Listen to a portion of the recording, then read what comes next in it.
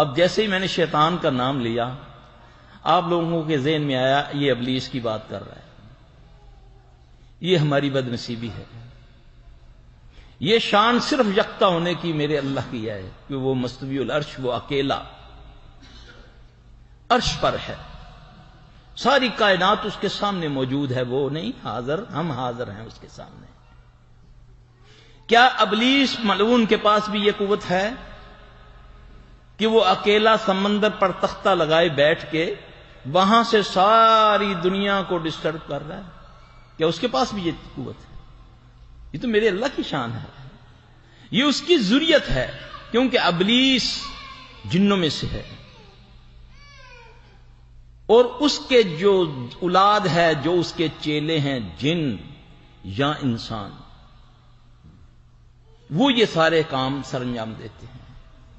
اب اس سے بچنے کے لیے پیارے محمد صلی اللہ علیہ وآلہ وسلم نے ہمیں جو طریقے بتائے، واللہ اگر ہم آپ صلی اللہ علیہ وسلم کی ایک ایک بات پر عمل کریں، کبھی چھوٹی بات نہ جانے رسول اللہ علیہ وسلم کی، یہ سوچ لیں وہ کس بڑے کی بات ہے۔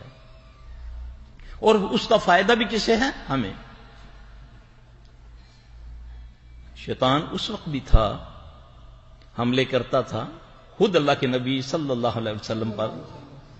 یعنی کہ میراج پر جب آپ گئے تو اس نے حملہ کیا۔ یہ جو دعا ہے، اعوذ بکلمات اللہ التامات اللہ لا یجاوزہن بر ولا فاجر۔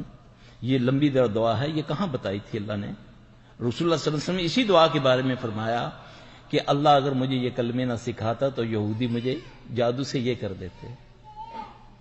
میری تو زبان نہیں وہ کہہ سکتے أعوذ بکلمات اللہ التامات التي لا يجاوزهن بر ولا فاجر من شر ما ينزل من السماء وما يعرج فيها ومن شر فتن الليل والنهار ومن كل طارق إلا